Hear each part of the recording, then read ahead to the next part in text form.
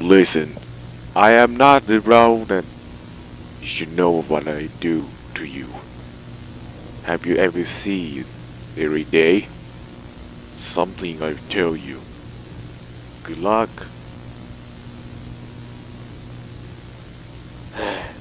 Fine. I guess I want to die. Don't you dare to think about your job.